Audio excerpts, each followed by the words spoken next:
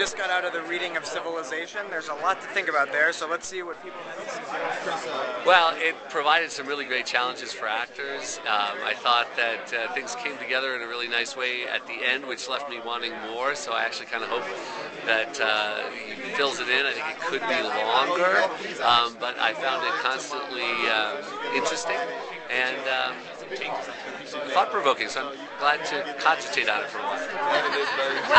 I thought it was fascinating, and um, I'd love to see a full production.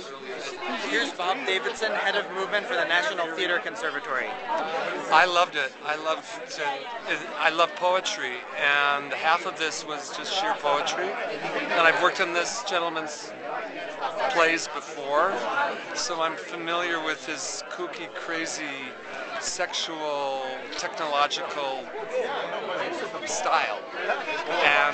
I think a lot of people didn't understand it. I loved it, and I didn't quite understand it, but I loved it. The bar is now open in the Jones Theater, so we're heading over there to get ready for the late night playwright slam. I'll see you there.